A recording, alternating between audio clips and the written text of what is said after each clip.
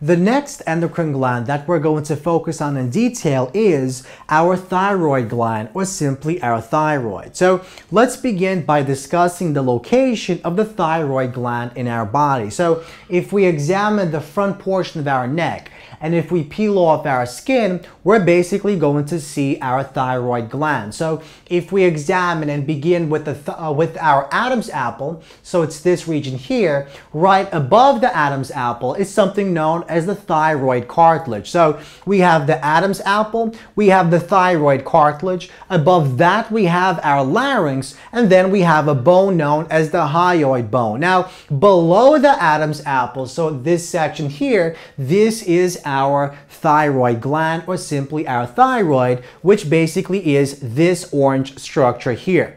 Now, below that is the trachea and on both sides of our windpipe. So this entire region is called the windpipe because it, it, it actually carries our air into and out of our body. On both sides of the windpipe, we have our blood vessels. We have the veins known as our internal jugular veins, and we also have our arteries known as our common carotid artery. We have the right one and we have the left one. So essentially what the thyroid gland is, it's an endocrine gland that produces hormones that is located on the front portion of the windpipe and it also extends slightly towards the back.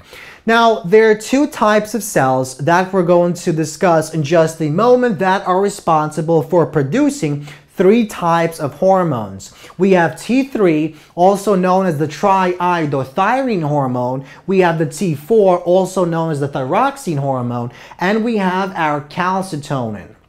Now, T3 and T4 hormones of the thyroid gland are actually controlled and stimulated by a hormone that is produced by our anterior pituitary gland known as the thyroid stimulating hormone or TSH. And TSH itself is stimulated and controlled by TRH, the thyroid releasing hormone produced by the hypothalamus. So we have this positive feedback mechanism that allows us to basically control the production and release of T3 and T4. And we also actually have a negative feedback mechanism as we'll see in just a moment. So let's begin by discussing the triiodothyronine hormone, T3, and the thyroxine hormone, the T4 hormone.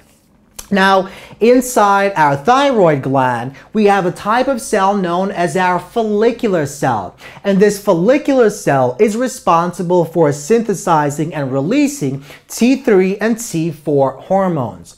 Now, both T3 and T4 are produced using our tyrosine amino acid. T3 simply means we have three iodide ions three iodide atoms, and T4 means we have four iodide atoms attached onto that particular hormone. Now, T3 and T4 are both uh, uh, lipid soluble. So that means they do not dissolve in water, so they do not dissolve in our blood, and they require protein carriers to basically carry them within our bloodstream. Now, this also means that T3 and T4, because they are lipid soluble, they can easily dissolve across our cell membrane. And that means they basically enter the nucleus of our cell, the target cell, and they influence our cell on a transcriptional level. So they basically affect the different processes in our body, especially protein synthesis.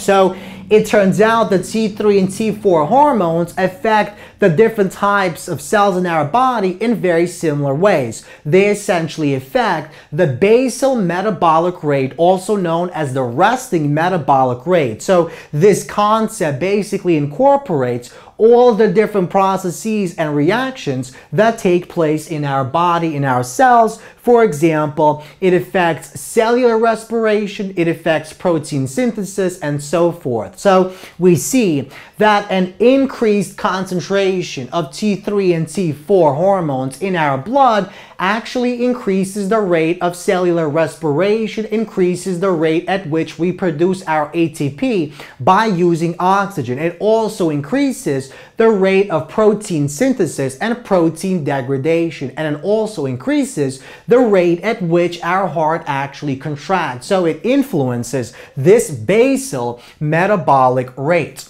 Now, these hormones are actually also very important in the growth and the development of our organism from the child into an adult. Now, we have two important abnormalities that we should be familiar with when we're discussing T3 and T4. We have something called hypothyroidism and we have hyperthyroidism. So hypo simply means we have an insufficiency of.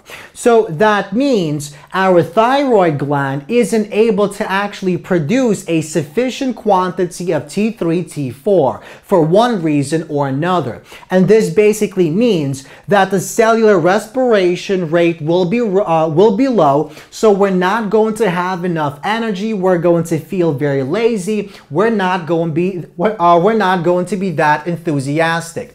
So uh, low levels of these hormones will basically also lead to a, a, a, gain of weight. So we're going to begin to gain weight. We're going to basically decrease the respiration rate. We're going to decrease our heart rate, among many other things. Now, hyperthyroidism is the opposite. We basically have an excess of T3, T4 hormones in our blood. So that means our thyroid gland is being overstimulated. And one reason why this takes place is a result of some type of tumor on our thyroid gland. So if we have too many of these T3, T4 molecules, we're going to feel very anxious. And that's because our body's metabolic rate will increase. We're going to basically increase the rate at which we produce our energy. That will basically cause us to lose weight. It will increase our respiration rate. It will increase the rate at which our heart contracts and so forth. Now, earlier we discussed a positive, uh, a positive feedback loop. So we said that what actually causes the release of T3 and T4 into the blood is the release of TSH by our anterior pituitary gland. And what causes this pituitary gland to release TSH is the hypothalamus releasing our TRH. So we have a positive feedback loop going this way, a positive feedback loop going this way. But when we begin to increase the concentration of T3 and T4, that will basically inhibit the release of TRH by the hypothalamus and the release of TSH, the thyroid stimulating hormone, by the anterior pituitary gland. So we have a negative feedback mechanism that basically helps us control the levels of T3 and T4 in our body. So basically, if we have a very low level of T3 and T4, that will basically cause the hypothalamus to release TRH, which will cause the anterior pituitary gland to release TSH, which will go on and cause the thyroid to release these two hormones. But over time, as the concentration in the blood plasma of T3 and T4 increases, that will basically affect these two structures via a negative feedback loop. It will cause, it will inhibit them from releasing these hormones and so the T3, T4 levels over time will basically stabilize.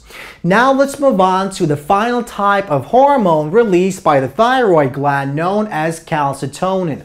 Now, we know that the follicular cells release and produce T3 and T4, but the parafollicular cells, also known as the C cells, are the cells that release and produce calcitonin inside our thyroid gland. Now, unlike these two hormones, calcitonin is a peptide hormone. It's a large peptide, and that basically means it's water soluble. It can easily dissolve and travel inside our blood, and it binds onto receptor proteins on the plasma membrane of the target cell. Now, in the case of T3 and T4, their release is controlled by the hypothalamus and by the anterior pituitary gland, but the calcitonin is controlled by the levels of calcium inside our blood. So, if the levels of calcium in the blood is very high, calcitonin will be released by our thyroid gland into the blood. And what the calcitonin will basically do is it will try to decrease the level of calcium in the blood by three methods. The, uh, the first method is basically it will increase the rate at which the bone absorbs calcium. It will decrease the rate of activity of osteoclasts which are the which are the cells in the bone that basically resorb our uh, resorb the bone and release calcium into our blood. So it will decrease their activity, but it will increase the activity of osteoblasts, which are those cells in the bone that build the matrix of the bone and absorb the calcium from our blood. So by increasing the activity of osteoblasts and decreasing the activity of osteoclasts inside the bone, the bone basically absorbs the calcium from our blood, thereby decreasing the calcium concentration in our blood. Now, the second method by which our calcitonin basically decreases the calcium concentration inside our blood is by increasing the rate at which our kidneys actually excrete this calcium into our outside environment. So it will cause more calcium to be excreted by the kidneys. It basically inhibits the activity of certain cells in our kidneys that absorb that calcium. And finally, it causes our intestines to basically absorb less calcium, and that means the calcium will eventually be excreted into the outside environment. So this is our thyroid gland. It's a type of endocrine gland that releases and produces three important types of hormones. We have T3 and T4, which are responsible for controlling the basal metabolic rate. It can increase or decrease that rate. And our calcitonin is basically responsible for controlling the calcium concentration inside our blood.